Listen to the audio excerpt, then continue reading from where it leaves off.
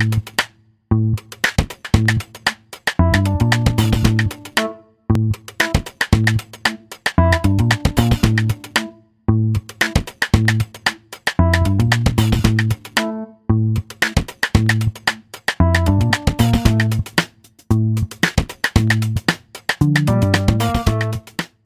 Exposição Mal Entendidos reúne uh, 24 trabalhos feitos desde 1999. Não é propriamente uma retrospectiva, mas é uma exposição panorâmica. Né? Inclui também uh, um conjunto de trabalhos uh, novos, feitos especialmente para a exposição. São oito grupos ou séries de trabalhos. São trabalhos em desenho, em pintura, instalação, vídeo. Um, e são trabalhos todos que de algum modo se relacionam com essa noção bastante ampla aí de mal entendido, né? O que, que é um mal entendido? Mal entendido é, é um pequeno, na verdade, é um pequeno objeto, um pequeno trabalho feito pelo artista, que uma escultura uh, que consiste num ovo meio submerso num copo de vidro. A imagem que se vê desse copo, ela, ela por causa do, da água e do vidro, ela se vê ampliada, então você vê uma imagem um pouco fraturada desse ovo. O mal entendido, então, pode ser um mal entendido de representação, de visão, de percepção, de comunicação.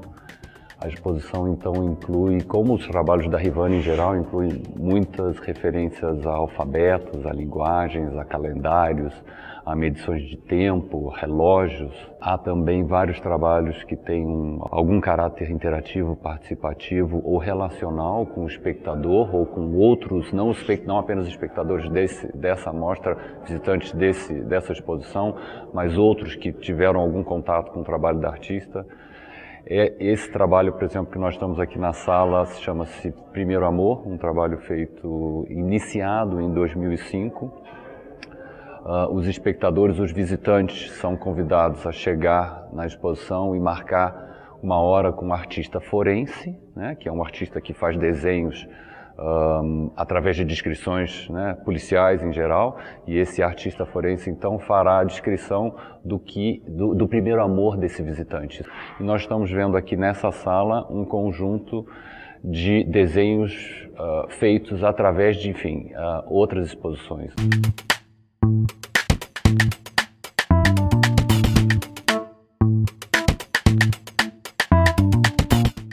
Outros trabalhos participativos também, que de algum modo uh, uh, convidam o espectador a não, não ser apenas mero espectador, né?